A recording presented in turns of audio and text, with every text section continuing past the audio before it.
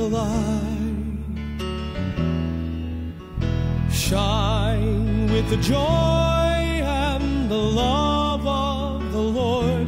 We are called to be light for the kingdom, to live in the freedom of the city of God. We are called to justice. We are called to love tenderly. We are called to serve one another,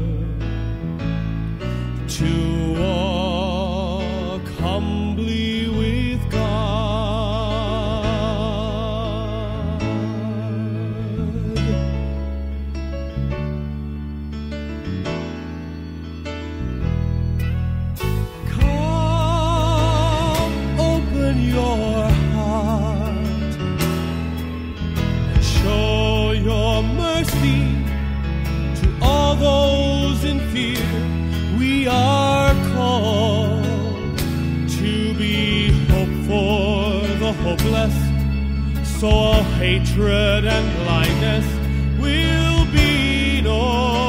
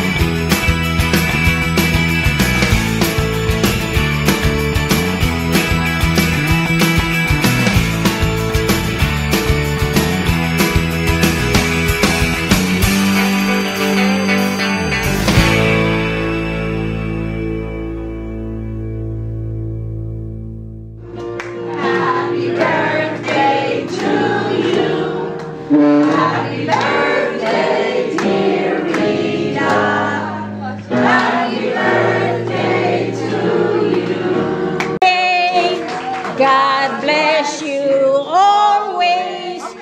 God bless you and keep you.